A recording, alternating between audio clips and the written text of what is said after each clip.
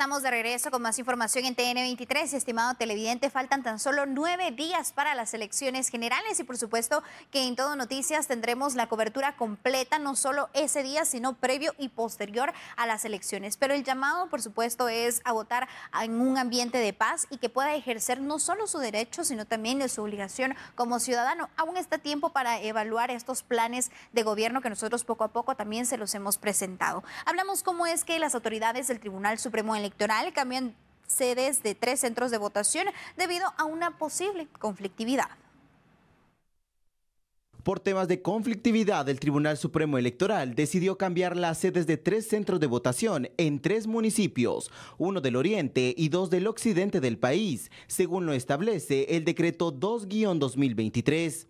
Se trata de Santa María la Laguna en Sololá, San Martín Girotepeque Chimaltenango y San Diego Zacapa. Según los magistrados del ente electoral, estas modificaciones buscan garantizar la efectividad del sufragio, la transparencia del proceso electoral, la seguridad, integridad y vida de los ciudadanos. El mapa de municipios en alto riesgo de conflictividad para las elecciones generales en Guatemala, que se celebrarán en junio próximo, es la siguiente. San Jorge Zacapa, Esquipulas Palo Gordo San Marcos, el Adelanto Jutiapa y San Mateo Ixtahuacán Huehuetenango. Todos estos son catalogados de muy alto riesgo y por ende de muy alta conflictividad electoral.